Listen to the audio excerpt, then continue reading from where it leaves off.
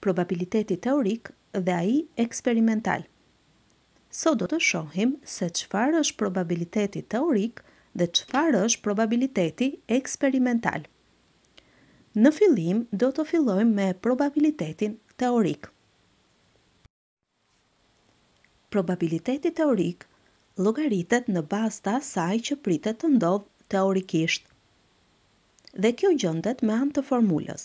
Probabiliteti teorik i ngjarjes është raporti ndërmjet numrit të rezultateve të favorshme dhe numrit të rezultateve të mundshme. Le të shohim një shembull konkret. Sa është probabiliteti që shigjeta të bjerë te ngjyra e verdhë gjatë rrotullimit të diskut? Shohim që disku është i ndarë në tetë pjesë të barabarta, ku ngjyra lejla ka dy pjesë, ngjyra e verdhë dy pjesë, ngjyra e blu tre pjesë dhe ngjyra e kuqe një pjesë. Pra sa është numri i rezultateve të mundshme? Numri i rezultateve të mundshme është tetë. Sa është numri i rezultateve të favorshme, pra sa është numri i mundësive që shigjeta të ndalojë te ngjyra e verdhë, për shkak se kemi dy ndarje me ngjyrë të verdhë, atëherë numri i rezultateve të favorshme është dy. Shkruajmë formulën e probabilitetit teorik të kësaj ngjarjeje. Probabiliteti i kësaj ngjarje është numri i rezultateve të favorshme, që është 2, përmbi numrin e rezultateve të mundshme që është 8, pra 2 të tetat ose 1 e katërta. Shohim një shembull të dytë. Tabela tregon disa informacione për nxënësit e klasave të nënta. Zgjidhet një nxënës rastësisht.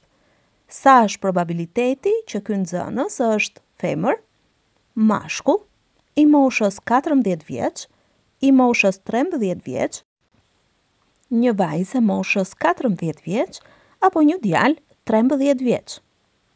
Le të zgjidhim disa pika së bashku. Zgjidhim pikën A. Pra, zgjidhet një, rastësisht një nxënës që mund të jetë femër. Pra, sa është probabiliteti që nxënësi i zgjedhur të jetë femër? Gjithsej kemi 200 nxënës nga të cilët nëntëdhjetë e gjashtë janë femra. Kështu që probabiliteti që ky nxënës të jetë femër do të jetë numri i vajzave përmbi numrin e nxënësve gjithsej, që është nëntëdhjetë e gjashtë të dyqindtat ose dymbëdhjetë të njëzet e pestat. Pra, probabiliteti që personi i zgjedhur të jetë femër është dymbëdhjetë të njëzet e pestat. Vazhdojmë me pyetjen e dytë. Gjithsej kemi dyqind nxënës nga të cilët njëqind e katër janë meshkuj, kështu që probabiliteti që të jetë një djalë i zgjedhur nga nxënësit është njëqind e katër të dyqindtat ose trembëdhjetë të njëzet e pestat. Shohim dhe pikën e tretë. Gjithsej kemi dyqind nxënës nga të cilët njëqind e tre janë të moshës katërmbëdhjetë vjeç. Kështu, probabiliteti që një nxënës i zgjedhur të jetë i moshës katërmbëdhjetë vjeç është numri i nxënësve katërmbëdhjetë vjeç përmbi numrin e nxënësve gjithsej, pra njëqind e tre të dyqindtat. Pikat e tjera mund t'i vazhdoni dhe ju. Tani do të shohim se çfarë është probabiliteti eksperimental. Probabiliteti eksperimental na ndihmon atëherë kur nuk njihet probabiliteti teorik. Probabiliteti eksperimental gjendet me formulën denduria e ngjarjes përmbi dendurinë gjithsej. Le të shohim dhe në këtë rast një shembull konkret. Tabela tregon rezultatet e hedhjes së një zari me katër faqe.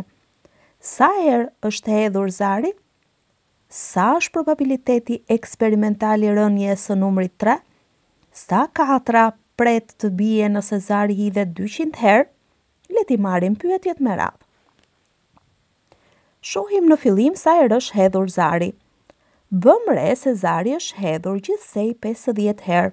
Këtë e gjetëm duke mbledhur dendurinë për secilin numër që ka rënë, pra 13 plus 12 plus 11 plus 14 e barabartë me 50. I përgjigjemi pyetjes së dytë, sa është probabiliteti eksperimental i rënies së numrit 3?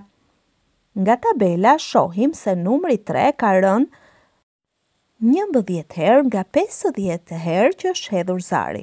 Kështu që probabiliteti që të bjerë numri tre është denduria e ngjarjes përmbi dendurinë gjithsej që është njëmbëdhjetë të pesëdhjetat. Pra, probabiliteti që të bjerë numri tre është njëmbëdhjetë të pesëdhjetat. Për t'iu përgjigjur pyetjes C, në fillim gjejmë sa është probabiliteti eksperimental që të bjerë numri 4. Nga tabela kemi që numri 4 ka rënë 14 herë nga 50 herë që është hedhur gjithsej zari. Pra, probabiliteti eksperimental që të bjerë numri 4 është denduria e ngjarjes përmbi dendurinë gjithsej që është 14 të pesëdhjetat ose 7 të njëzet e pestat. Tani le të gjejmë se sa mund të bjerë numri katër në dyqind hedhje të zarit. Veprojmë si me thyesat e barabarta. Ne dimë që probabiliteti i rënies së numrit katër është katërmbëdhjetë të pesëdhjetat. Pra për pesëdhjetë hedhje është katërmbëdhjetë, po për dyqind hedhje? Pesëdhjetën e shumëzojmë me katër për t'u bërë dyqind. Kështu shumëzojmë dhe katërmbëdhjetën me katër. Katërmbëdhjetë herë katër e barabartë me pesëdhjetë e gjashtë.